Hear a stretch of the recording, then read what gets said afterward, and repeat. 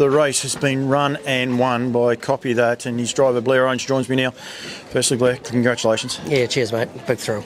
Big thrill, um, big win, meant a lot to a lot of people here. I just saw Debbie. She's uh, she's in trouble, and of course that would be Zach, the peanut. He ran second, and that's how excited he is too. Don't worry about that. But well done, mate. Nah, cheers. Yeah, no, everything just worked out perfect. I hate running second, but good on you. Some of my best work there, and it's only a cameo from him, so it's even better.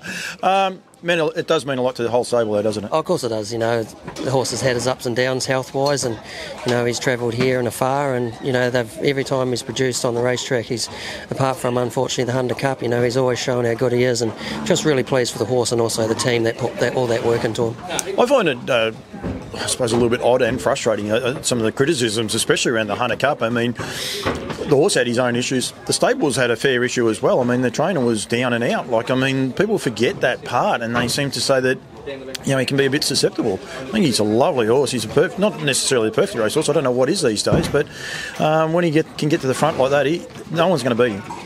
No, well, you can never say no one's going to beat him, but he's uh, he's just such a lovely horse when he's in the zone, and you know he doesn't have to lead all the time. He's actually very fast off a helmet, but when you draw like we did tonight in those type of races, you take full advantage of it, and yeah, it's um, just a credit to the horse. Credit to the horse and everyone around him. The way you handle him, um, you took all that in your stride. Well, you know, it's, it was, I just thought the way it panned out on paper, like he was going to get his chance from the draw, and you know, if he got beat, he got beat. So uh, yeah, I was pretty happy with the way the draws fell in our favour, and obviously the result. About the crowd, I um, I was standing down there in the Whittam post, and the noise from that crowd when you guys were turning for home, it must have been. Was it? What was it like being out there? Uh, to be honest, I couldn't actually hear them. Um, but just just seeing the, the, amount of people that were here today just, just shows that there's still the love for racing in, in New Zealand, and you know it's full credit to the club for what they've done, and just great to see people here again.